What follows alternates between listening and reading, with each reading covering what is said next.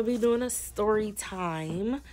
Um, as you can see from the title, sneaking friends into the house. So I want to say that this was two years ago, two or three years ago, and these are strictly friends. Well, they're they're friends, and at the time, my brother didn't think that they were. So all my friends, we live in the same neighborhood, right? So all of our bus stops are by each other. Basically, all of our buses would meet up at the same like corner in the same area. We would all get off the bus, stand around, talk, you know, be out there for like an hour or two, not even go home. Well, when we did go home, some people would like come over each other's house. So sometimes all like everybody came over my house and my mom was at work. My brother, he was living with us at the time. I really don't know where he was at. And everybody would come over. Some of the people were in my videos. They used to always come over here. So this particular day it was me my cousin. My cousin cousin was living with us. And um, my friend chris and micaiah came over two boys. So my brother left and as always we all just in here cooling. I really don't know what we was doing but we wasn't doing nothing and my brother left and i would always lock the screen door because I didn't want him to know they was in here because he was gonna tell my mom, and if I already asked her and she said no, and I did it anyway, obviously it was gonna be a problem. So, yeah, so we locked the screen door because I don't think he had a key to the screen door for at first. So every time like we felt him tug on the screen door, we would know like, oh, he's here. We need to get them out the back door, not the front. So one day we just all in here. We got the music blasting. We playing Xbox. I don't know if we was eating we was just doing, just hanging out, chilling. Nothing much, nothing less, nothing more. And we was just chilling. So we feel the screen door.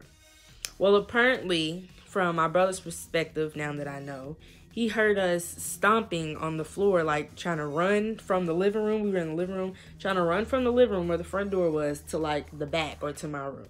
My cousin tried to play it off and like he looked out the blinds, but apparently my brother seen him and he just thought something was up. He was just always suspicious. And when he walked in here, my cousin was playing my Xbox. I was in the kitchen, I remember, because like I was kind of nervous a little bit, but I was in the kitchen. I had a water bottle in my hand, and I'm just, you know, drinking the water, walking from the kitchen to my room. It's just literally right there, two steps. I'm trying to play it off like everything's cool.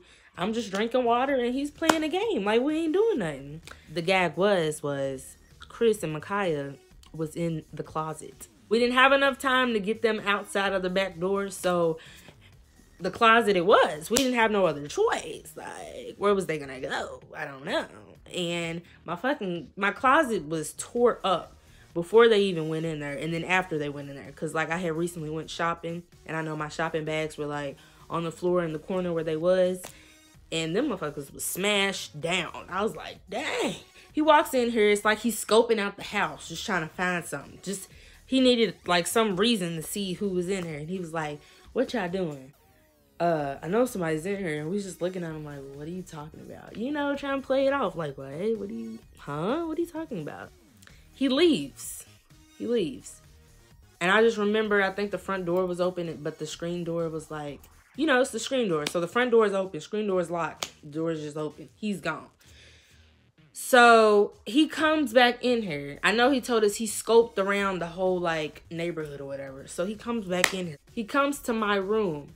I had like clothes in my on my chair to my desk. They were just there. They were clean clothes I hadn't put up. They was just piled into my chair.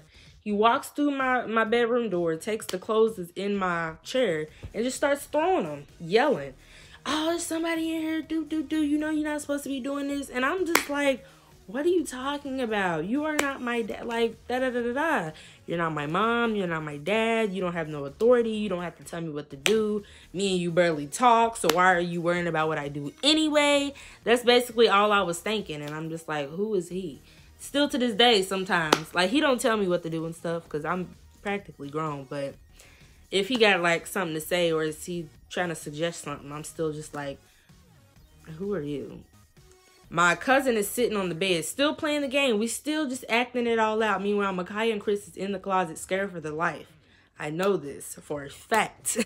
He grabs me, pins me on the wall next to the closet. So we're literally by the right side door of the closet. I got two doors on the closet. You can just open it like that. We're right there where they're at.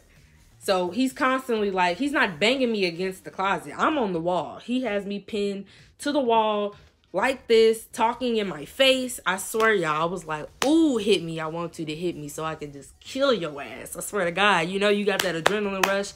Like, or if it's somebody you don't like, you like, I want this bitch to run up and touch me. I want her to touch me. It was kind of like that with him, and I was so freaking ready. But I was just like, get off me and da da da da da. And my cousin, he tries to come over and help, like, get my brother off of me. Like, he's trying to grab him off of me. My brother stiff arms my cousin, literally. As he's walking up to him, he's just like, move, bitch. He just pushes his ass. And I'm like, uh uh. So he lets me down. He walks out mad. My brother is mad, yelling. Like, we didn't give him any reason. There's no evidence of anybody being in here. But he walks out mad.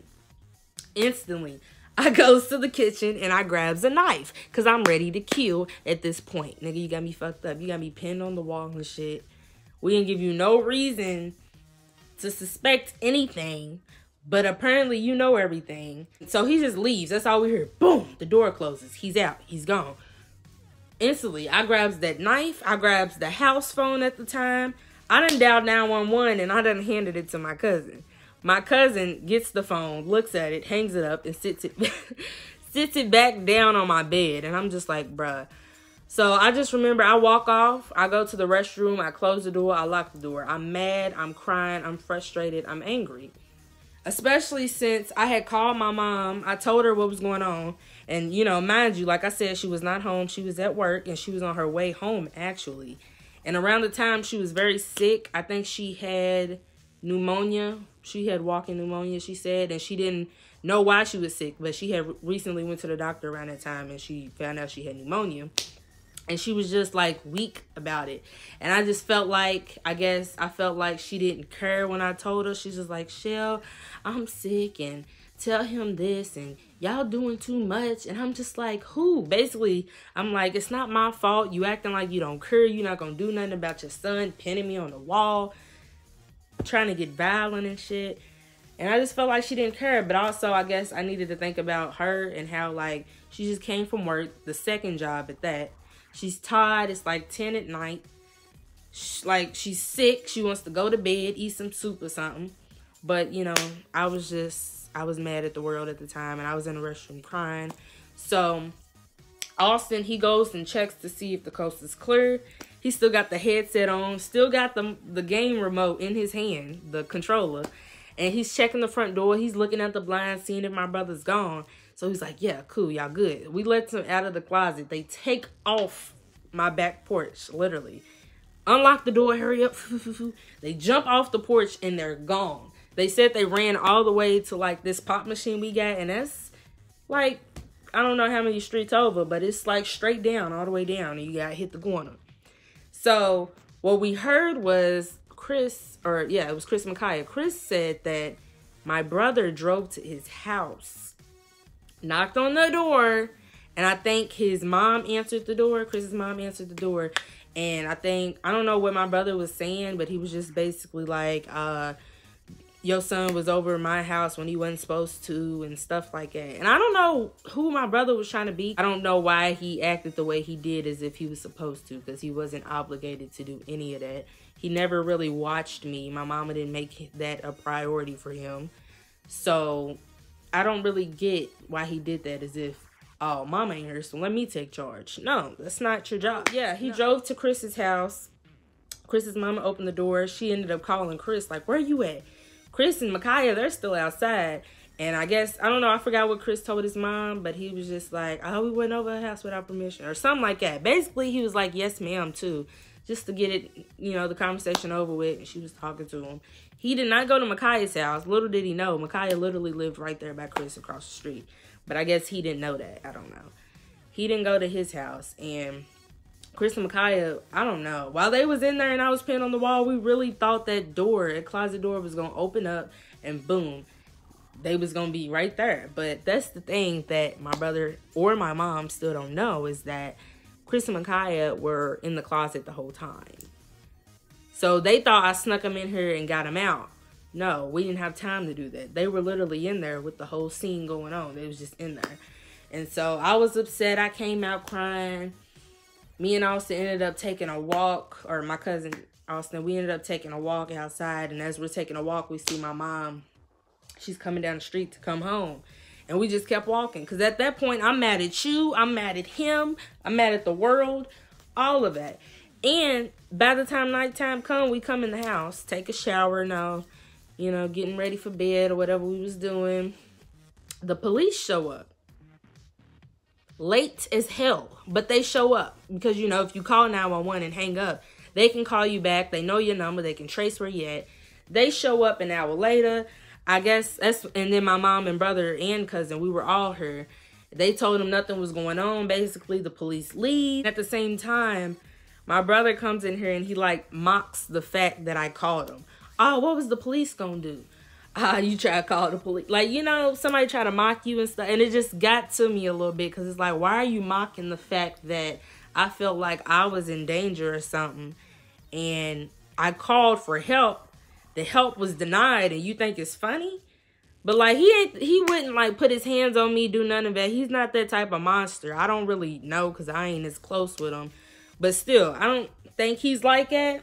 But that's just how I seen it coming off as. I ain't gonna make him out to be a bad person or whatever.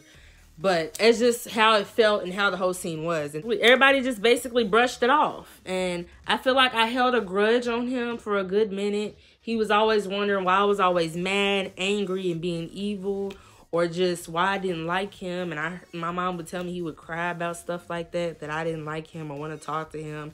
And I didn't care. I really didn't because of the whole situation and how I felt about him before that. We barely talked. When we were younger, I feel like we was closer than now. But after that situation, I was like, I am good on that. And I appreciate my cousin for trying to help me too, even though it kind of didn't work out. But I was ready to stab a nigga, get a nigga to go to jail, mad at my mom. I really wanted to yell in her face, like, damn, you just really gonna let this happen? Like, but it's all over assumptions, which were true, but we didn't give him like any reason to know that. There was no shoes left, no coats that weren't ours left out we weren't like doing nothing. Supposedly he just heard footsteps and seen my cousin look out the blinds and just he went off from there. Monday through Friday we go to school. So everybody came in my house. Right after, you know, we got out the bus. It was probably like 240. And we'd all be in here cooling different days. And we would always still lock at screen doors. So there's been different times when different people was in here or everybody, but it was nothing like that. We was just on some chilling stuff and he just took it out of proportion. He just made it more than what it was. That's literally how I look at it. So I am good on that. Hope you all enjoyed my story time. I'm trying to give y'all more story times, but the way I'm set up and the way y'all know I'm set up, I can barely remember stuff. Frankly, cause um yeah, you know. And follow my Instagram, m.chxl follow my writers page too. I've been posting more on there because I had stopped because of different things that I've been doing. But the writers page is Marchel Says. Go see what I have to say because there is a lot. And just stay tuned for more videos. Like, comment, and subscribe. And have a good day. I'm out. Thank you.